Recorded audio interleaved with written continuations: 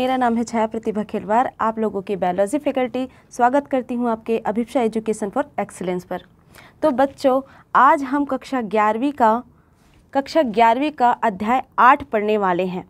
अध्याय में आपको क्या मिलेगा बच्चों? कोशिका और संरचना और उसके कार्य के बारे में हम देखेंगे बच्चों कि कोशिका होती क्या चीज़ है, संरचना उसके देखेंगे और उसके कार्यों के बारे में समझेंगे। तो बच्चों, आप सभी को पता है कि समस्त यानी कि समस्त प्रकार के पृथ्वी पर पाए जाने वाले जीव जंतु जितने भी जीव जंतु हैं, जैसे पेड़ पौधे हैं, वो सभी किससे मिलकर बने हुए हैं? कोशिका से मिलकर ही बने होते हैं। देख लीजिए, अपने आप को ही देखिए, आप खुद सोचिए कि आप किससे उत्पन्न हुए हैं। तो बच्चों, मैं बता दूँ, जितने भी पृथ्वी पर जीव हैं, आप, हम पेड़ पौधे इवन कुत्ता, बिल्ली, शेर, जितने भी आप देख रहे हो चाहे हम बैक्टीरिया की बात करें, अमीबा आप देखते हो, पैरामीशियम देखो, ये सारे के सारे किससे मिलकर बने हैं बच्चों? कोशिका से ही मिलकर के ही बने हुए हैं। क्लियर है? तो चलिए हम उसी के बारे में अध्ययन करने वाले हैं कि कोशिका क्या होती है। तो हम बता दें बच्चों, जितने भी सजीव होते हैं, वो कोशिका से ही निरंतर बनते रहते हैं। चाहे हम कोशिका की बात करें प्रोकैटिक कोशिका की बात करें, चाहे हम यूकैटिक कोशिका की बात करें, अभी आप समझोगे कि प्रोकैटिक कोशिका क्या होता है यूकैटिक कोशिका क्या होता है। हम एक एक चीज़ को पूरा डिटेल से बताएँगे, ठीक है? तो यहाँ पर मैंने कोशिका के बारे में बात की तो कोशिका क्या होता है बच्चों, मैं बता दूँ। जीवों की संरचनात्मक एवं क्रियात्मक इकाई को हम कोशिका कहते हैं। सभी को पता है, जीव जो होते हैं कोशिका से ही मिल करके ही बने होते हैं। तो हम इसमें क्या क्या पढ़ने वाले हैं बच्चों? इसके रूपरेखा के बारे में जानते हैं। कोशिका क्या होती है इसके बारे में हम पढ़ेंगे। कोशिका की खोज क्या होती है इसके बारे में भी हम पढ़ेंगे। और कोशिका के सिद्धांत क्या क्या होते हैं? जितने भी वैज्ञानिक हैं जिन्होंने कोशिका की खोज की, उसके बारे में हम अध्ययन करने वाले हैं। चलिए बच्चों तो हम स्टार्ट करते हैं कोशिका के बारे में।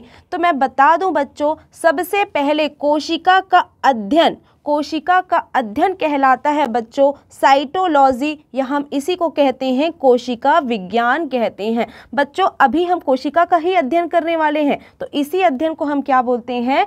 साइटोलॉजी कहते हैं। याद रखिए, आपको हिंदी नाम से ज़्यादा यहाँ पर साइटोलॉजी शब्द का प्रयोग बार बार होने वाला है।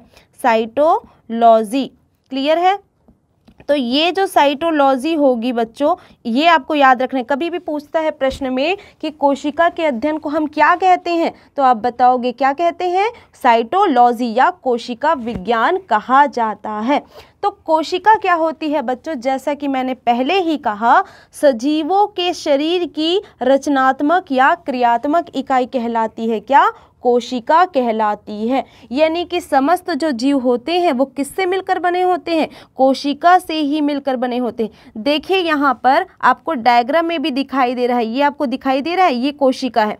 और ये कोशिका का विभाजन हुआ है और बहुत सारे कोशिका बन गए हैं। तो इस प्रकार से सजीवों के जो शरीर होते हैं, या हम उसके रचनात्मक की बात करें, अगर उसके स्ट्रक्चर की बात करें, या वो कैसे कार्य करते हैं हम उसकी बात करें तो वो दोनों के दोनों क्या कहलाते हैं?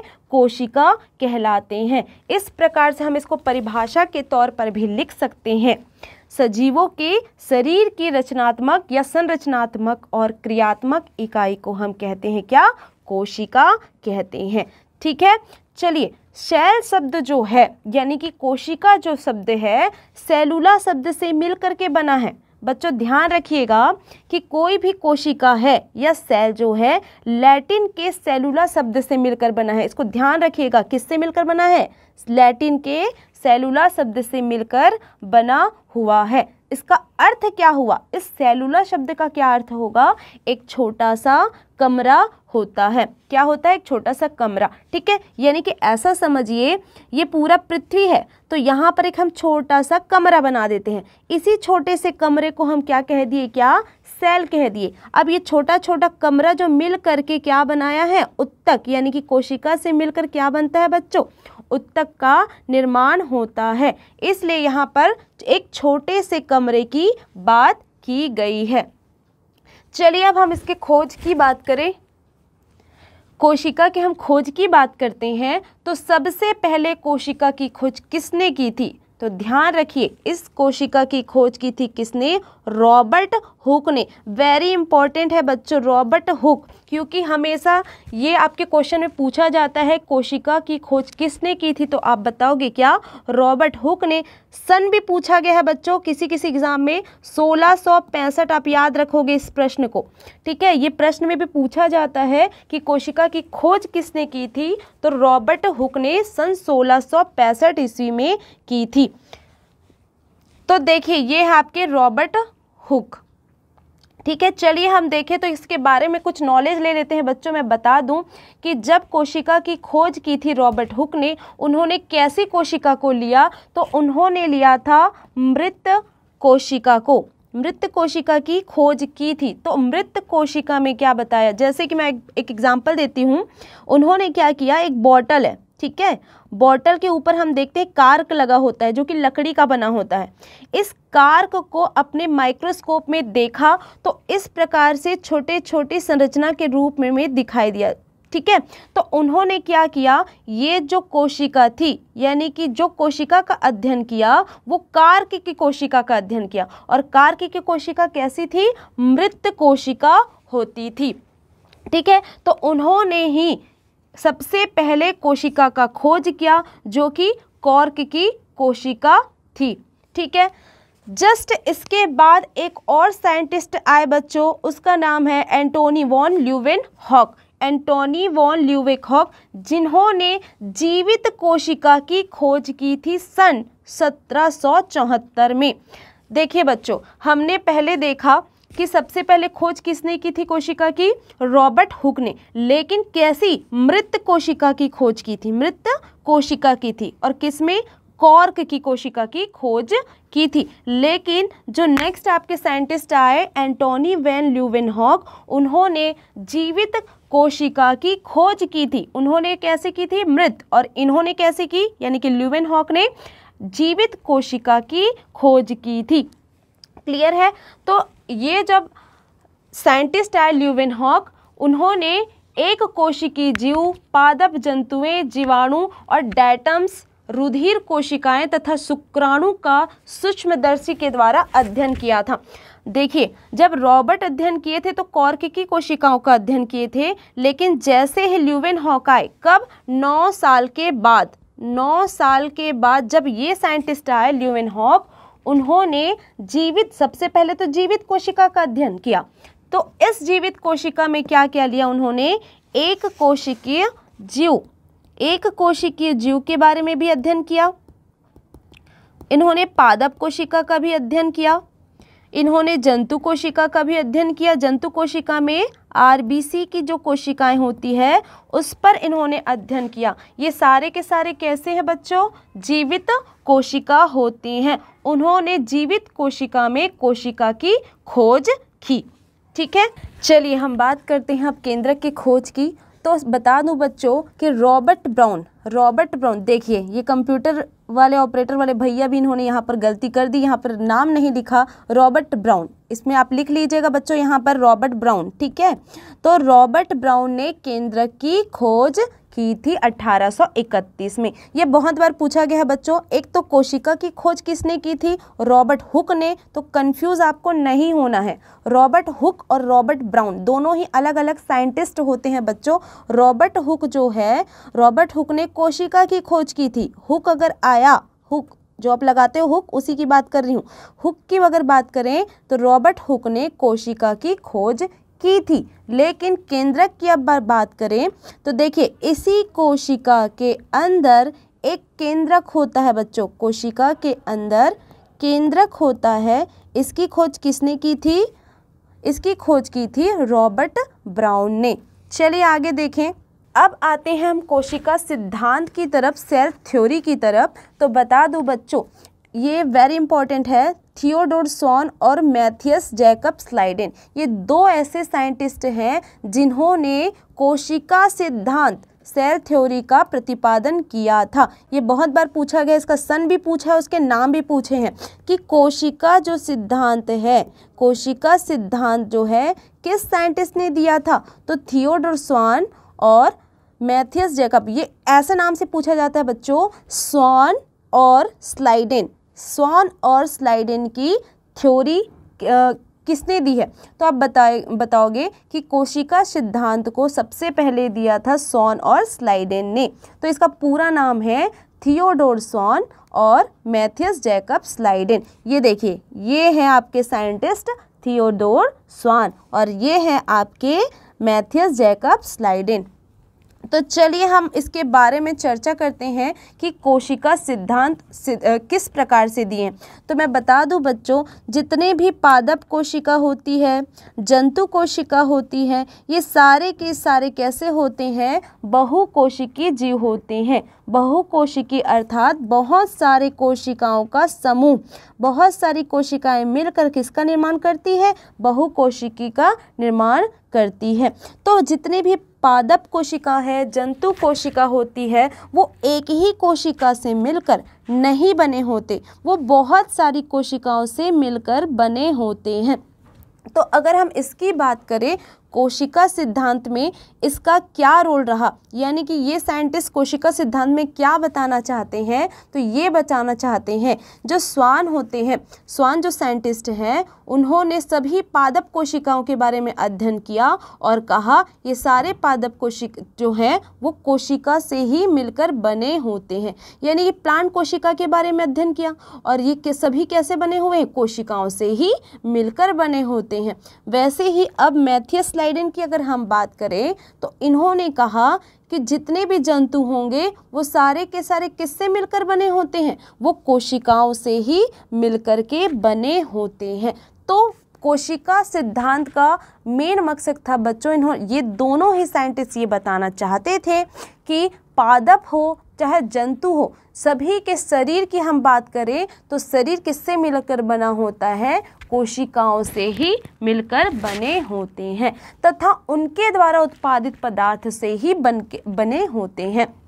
क्लियर है? तो आपको ये समझ आ रहा होगा। चलिए हम रडोल्फ विर्चो की बात करते हैं। एक और साइंटिस्ट आ गए, रडोल्फ विर्चो। इनके अनुसार क्या होता है बच्चों? रडोल्फ विर्चो के अनुसार कोशिकाएँ जो है, कोशिकाएँ जो है, पहले से उपस्थित कोशिकाओं से ही बनी होती है। इन्होंने कहा कि, चलिए भाई, इन जो कोशिका सिद्धांत था तो किन्हों, किसने दिया था? ये तो स्वान और स्लाइडन ने दिया था। तो इन्होंने क्या बताया था कि सभी कोशिका जो होते हैं, सभी जीव जो होंगे, पादप चाहे हो, चाहे जंतु की हम बात करें, जितने भी आपके जीव होते हैं, वो सारे के सारे कोशिका से ही मिलकर बने होते हैं, या तो अनेक उनके द्वारा उत्पादित पदार्थों से ही बने होते हैं।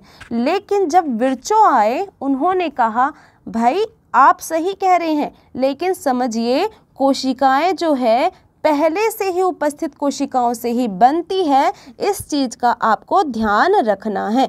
इन्होंने कहा, किसने? रडोल्फ विर्चो ने ही कहा था कि भाई, पहले से उपस्थित जो कोशिकाएँ रहेंगी, ठीक है?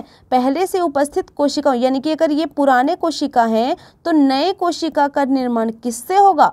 ये नई कोशिका का निर्माण जो है, पुराने कोशिकाओं से ही होता है। यानी कि पहले से उपस्थित कोशिकाओं से ही इन नई कोशिकाओं का निर्माण होता है। किसने कहा? रडोल्फ विरचो ने। इसके हम कुछ और बात करते हैं बच्चों। तो आधुनिक कोशिका सिद्धांत की हम बात करते हैं। यहाँ पर एक और लाइन आप समझिएगा, आधुनिक कोशिका सिद्धांत। तो आधुनिक कोशिका सिद्धांत क्या होती है बच्चों? आधुनिक कोशिका सिद्धांत। इससे ये पता चलता है कि सभी जीवधारी एक या एक से अधिक कोशिकाओं से मिलकर बने होते हैं। तथा उनके द्वारा उत्पाद से बने होते हैं। और एक ये भी आपको पॉइंट समझ आया कि नई कोशिका, ये जो नई कोशिका बनेगी बच्चों, पुरानी कोशिका या पूर्ववर्ती कोशिका के विभाजन से ही बनती है।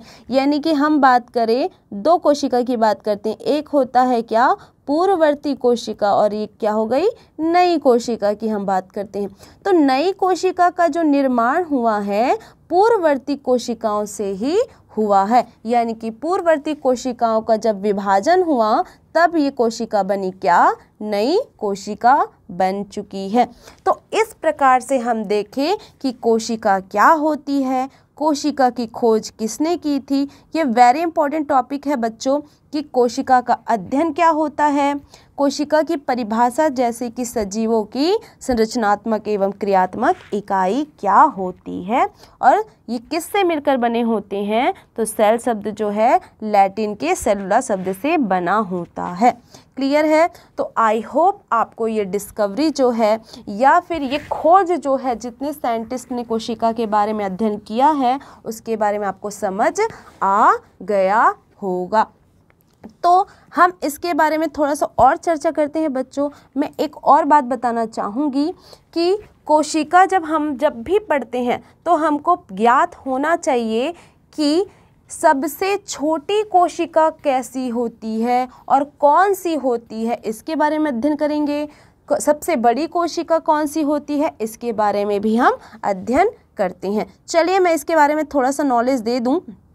कि यदि आपको कभी पूछ लिया जाए कि सबसे छोटी कोशिका कौन सी है और सबसे बड़ी कोशिका कौन सी है, सबसे लंबी कोशिका कौन सी है तो बच्चों, आपको ज्ञात होना चाहिए कि समस्त, यानी कि सामान्यतः देखा जाए तो कोशिकाओं का जो आमाप होता है अगर हम सामान्यतः कोशिका को देखेंगे तो कोशिका का आमाप जो है 0.25 म्यू से लेकर 90 सेंटीमीटर तक होता है। लगभग इतने ही आपके आमाप में आपको दिखाई देते हैं। चलिए हम सबसे छोटी कोशिका की बात करें तो सबसे छोटा जीव या सबसे छोटी कोशिका है आपका माइकोप्लाज्मा।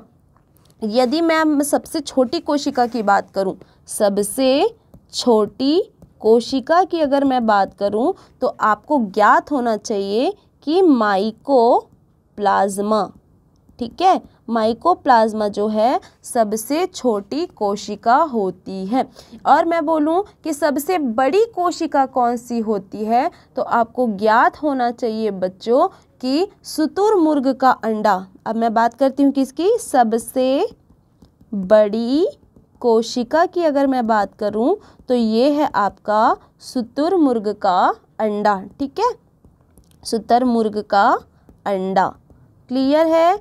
चलिए, ये कभी कभी पूछता है कि बताइए कोशिका, सबसे छोटी कोशिका कौन सी होती है? तो आप बताओगे क्या? माइको प्लाज्मा सबसे छोटी कोशिका कौन सी होती है? तो आप बताएँगे क्या? सुतुरमुर्ग का अंडा। यदि कभी ये पूछा गया कि सबसे लंबी कोशिका कौन सी होती है? सबसे लंबी कोशिका कौन सी होती है? तो आपको पता ही होगा बच्चों, आप शुरू से ही पढ़ते जा रहे हैं कोशिका के बारे में थोड़ा सा ज्ञात तो होगा ही तो आपको पता होना चाहिए। तो वेरी इंपॉर्टेंट चीज़ है और जनरल नॉलेज भी है।